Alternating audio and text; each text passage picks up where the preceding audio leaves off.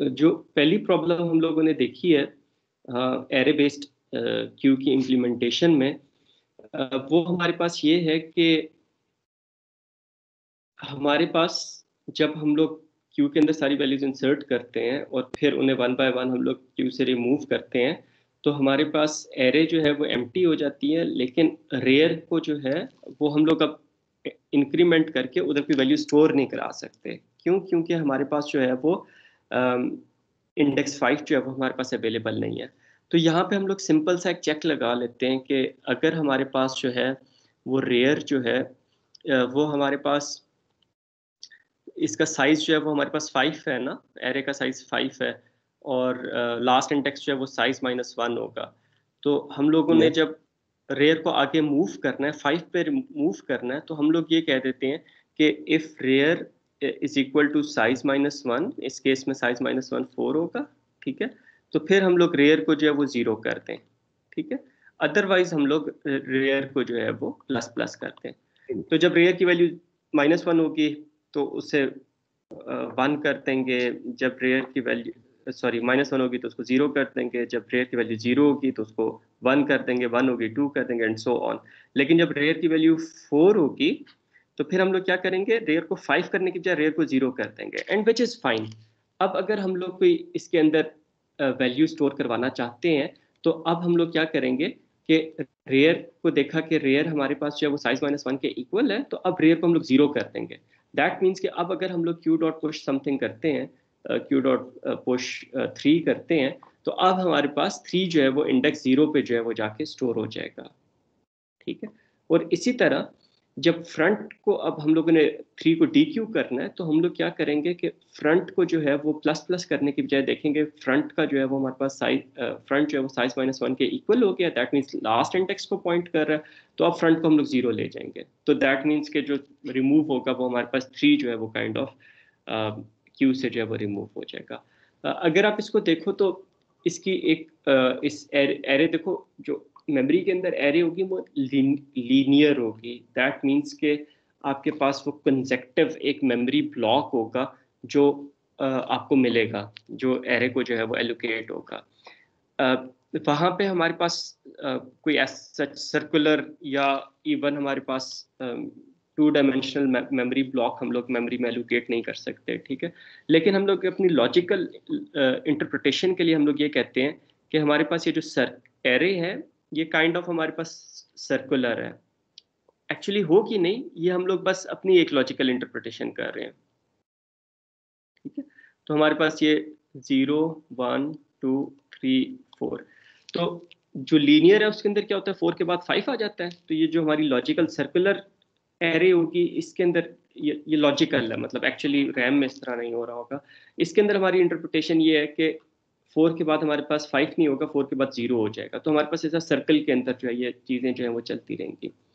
अच्छा अब हम लोग यही वैल्यूज़ जो हैं वो इधर पुश कराते हैं इस इंटरप्रटेशन के हिसाब से देखते हैं कि हमारे पास जो है वो क्यू फुल होती है या नहीं। तो इनिशलाइज हम लोग कर देते हैं। अब यहाँ पे माइनस वन तो है नहीं।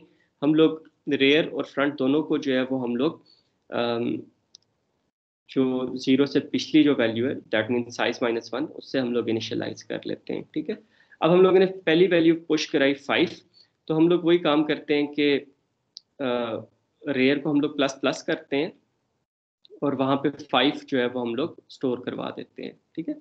फिर जब हम लोगों ने टू को स्टोर करवाया तो रेयर को प्लस प्लस करेंगे, और वहाँ पे टू जो है वो स्टोर करवा देंगे। फिर सेवन स्टोर करवाया रेयर को प्लस प्लस करेंगे और वहाँ पे सेवन को हम लोगों ने स्टोर करा लिया। अब फिर रेयर को प्लस प्लस करेंगे और फिर वहाँ पे फोर को स्टोर करवा दिया। फिर रेयर प्लस प्लस करते हैं और वहाँ पे हम लोग जो है वो एट को जो है वो स्टोर करा देते हैं। अब हमारे पास क्यू फुल हो गई है क्योंकि सारी की सारी हमारे पास पोजीशंस जो हैं वो ऑक्यूपाई हो गई हैं। अब हम लोग पॉप करवाना शुरू करते हैं। तो जब हम लोग पॉप करवाएँगे तो हम लोग क्या करेंगे कि फ्रंट को जो है वो हम लोग प्लस प्लस कर देंगे और ये ज्यूम करेंगे कि उस सिंटेक्स पे जो वैल्यू पड़ी हुई है, वो हमारे पास क्यू से बाहर निकल गई है। फिर दोबारा हम लोग पॉप करते हैं तो फ्रंट को प्लस प्लस करेंगे और हमारे पास ये चीज़ जो है वो क्यू से जो है वो निकल जाएगी। फिर दोबारा हम लोग जो है वो पॉप करते हैं या डी क्यू करते हैं तो हमारे पास फ्रंट प्लस प्लस होगा और वो वैल्यू क्यू से निकल जाएगी। फिर नेक्स्ट पॉप पे क्या होगा? फ्रंट प्लस प्लस होगा, वो वैल्यू क्यू से निकल जाएगी और इसी तरह ये प्रोसेस चलता रहेगा जब तक आखिरी वैल्यू नहीं निकल जाती। अब मुझे ये बताएँ कि अब अगर हम लोग की वैल्यू पुश करते हैं, जैसा थ्री पुश करते हैं तो वो किधर स्टोर होगा?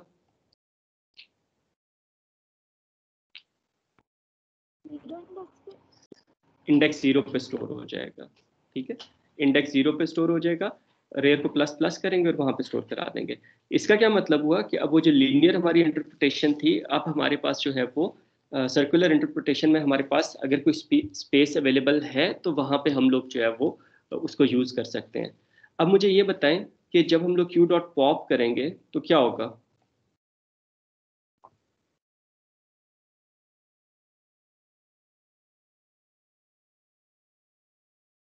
सर थ्री मूव हो जाएगा। जो फ्रंट है वो प्लस प्लस हम लोग करेंगे। दैट मीन्स देखेंगे साइन साइज़ माइनस वन के इक्वल है तो उसको हम लोग ज़ीरो पे मूव कर देंगे और ये जो है थ्री जो है वो हमारे पास क्यू से गायब हो जाएगा। तो अभी ये चीज़ जो है वो हमारे पास काम कर रही है। अभी मुझे बताएँ कि क्यू हमारे पास एम uh, है या फुल है? एम तो एमटी के अंदर हमारे पास क्या कंडीशन बन रही है? व्हेन क्यू इज़ एम तो हमारे पास जो कंडीशन बन रही है, वो हमारे पास ये बन रही है कि रेयर जो है, वो हमारे पास फ्रंट के इक्वल है। तो वी वुड से कि हमारे पास क्यू जो है, वो एमटी है। अब लेट से हम लोग इसके अंदर दोबारा वैल्यूज़ पुश करवाना शुरू करते हैं। ये फाइव टू सेवन हम लोग दोबारा पुश कराते हैं। तो जब फाइव पुश करवाएँगे तो रेयर को पहले प्लस प्लस करेंगे, वहाँ पे फाइव पुश करवाएँगे। फिर जब टू पुश करवाना होगा तो रेयर को प्लस प्लस करेंगे, वहाँ पे टू पुश करवाएँगे। फिर हम लोगों ने जब सेवन पुश कराना होगा तो रेयर को प्लस प्लस करेंगे, वहाँ पे सेवन पुश करवाएँगे। फिर हम लोगों ने फोर पुश करवाना है रेयर को प्लस प्लस करेंगे वहाँ पे फोर पुश करवाएँगे। फिर हम लोगों ने एट पुश करवाना है तो रेयर को प्लस प्लस करेंगे। दैट मीन्स के रेयर को ज़ीरो करेंगे और वहाँ पे एट पुश करा देंगे। ठीक है?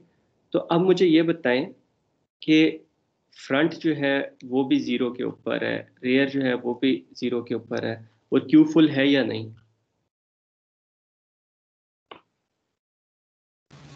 फुल है सर फुल है। तो फुल की हमारे पास क्या कंडीशन हुई? Is equal to front that means कि जब हमारे पास क्यू फुल होगी, तब भी हम लोग कहेंगे कि हमारे पास क्यू एम है, क्योंकि rear is equal to front की हमारे पास कंडीशन ट्रू है। और जब क्यू एम होगी, तब भी हम लोग कहेंगे क्यू एम है। या अदर वे अराउंड जब क्यू एम होगी, तब वही कंडीशन हमारे पास फुल की है, और वही कंडीशन हमारे पास जो है वो एम की है। तो अगर हम लोग इस तरीके से चलते हैं तो हम लोग ये जो दो कंडीशंस है इनको इनमें इनमें हम लोग फ़र्क नहीं कर सकते। We can not distinguish these two conditions because in both the cases the rear index is equal to basically the uh, तो इस चीज़ को हम लोग देखते हैं कि कैसे ये हल होगी। यहाँ तक आप लोगों का बेटे कोई क्वेश्चन हो?